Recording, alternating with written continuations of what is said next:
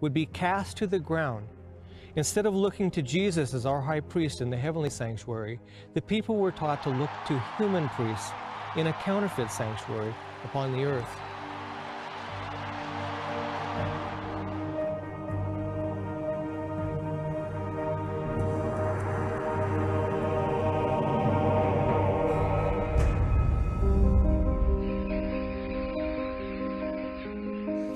So what you have is during the Dark Ages, you have this power rising upon the scene that actually attacked every article of furniture and the truth they represented.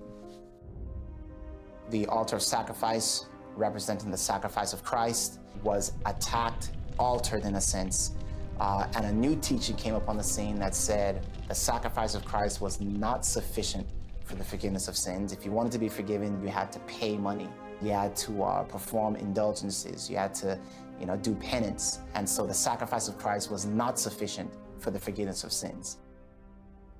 And the one-time sacrifice of Christ is now being repeated perpetually at every Mass. And so the cross, in effect, has lost its power.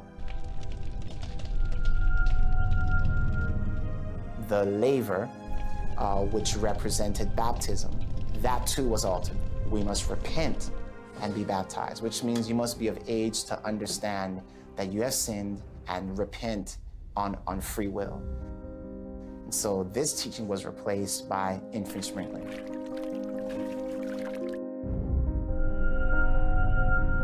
And then when you look at the, um, the table of showbread, that represents the Bible. The Bible was during the Dark Ages was taken away. It is forbidden for laymen to read the Old and New Testaments. We forbid them most severely to have the above books in the popular vernacular. The lords of the district shall carefully seek out the heretics in dwellings, hovels, and forests, and even their underground retreats shall be entirely wiped out. Pope Gregory IX in the Council of Tolosanum, 1229 AD, Canons 14 and 2. And so when you take away the Word of God, you take away the truth of God, and you have people that are now bound to superstition, um, and bound to tradition over the Word of God. The people were told that you couldn't read the Bible for yourself.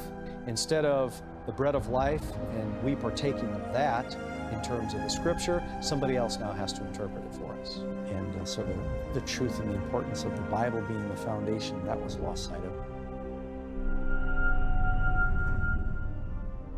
The altar of incense, which represented Christ's intercession on our behalf, was cast down and in its place was set up, you know, what was called the confessional booth, a two-compartment room divided by a curtain with a man sitting in the place of God hearing the confessions of other men.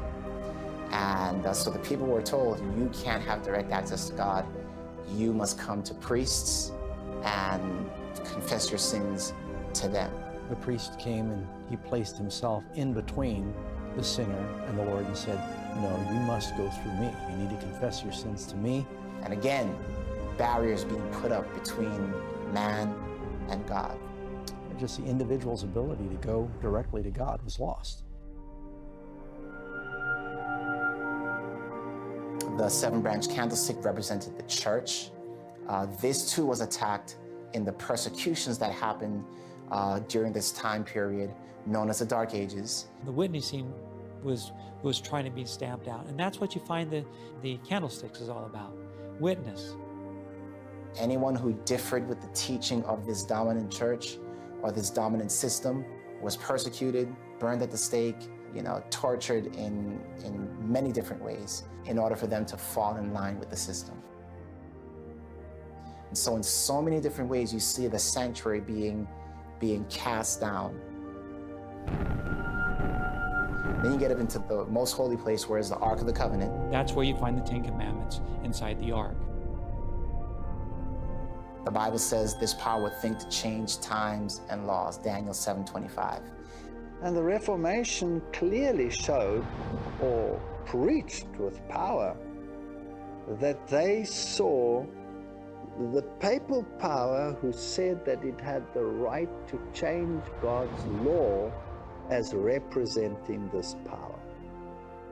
The Bible says, Remember that thou keep holy the Sabbath day. The Catholic Church says, No. By my divine power, I abolish the Sabbath day and command you to keep the first day of the week. And lo, the entire civilized world bows down in reverent obedience to the command of the Holy Catholic Church. The prophecy foretold the Catholic Church would think to change times and laws, and the Church acknowledges this fact. The Pope has the power to change times, to abrogate laws, and to dispense with all things, even the precepts of Christ. And as you look at the Roman Catholic uh, Church theology, you'll find that the second commandment basically in the catechisms is eradicated. It doesn't appear. They deleted one commandment, which was dealing with the imagery. You can't have an image. And so now they have a problem. They have nine, only nine commandments. So they took the 10th commandment and they divided it in half.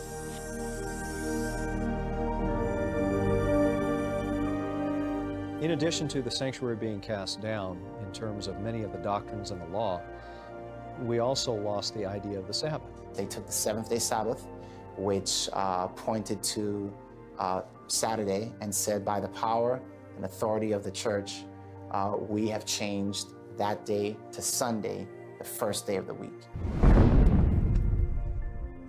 Re-emphasizing the change of this commandment, a Catholic priest said this in 1903. It is well to remind the Presbyterians, Baptists, Methodists, and all other Christians that the Bible does not support them anywhere in their observance of Sunday. Sunday is an institution of the Roman Catholic Church, and those who observe the day observe a commandment of the Catholic Church. Mankind who used to understand the keeping of Sabbath was part of the Christian life in the early church was now being told that no, the first day of the week is the new Sabbath set up by the Roman Church because she says she has the power to do so. The safe way is always the way of Scripture. If God said so, and I let myself be convinced by someone that God did not say so, then who's to blame? I'm to blame. You know, the idea that God's Sabbath, for instance, is changed is ludicrous when you think about the only commandment that begins with the word remember is the one they want us to forget. And so those are the unchangeable precepts of truth. And uh, he put that in the Ark of the Covenant. That was lost during the Dark Ages. Through the centuries, the sanctuary and the truths it represents were cast to the ground. In other words, they were made void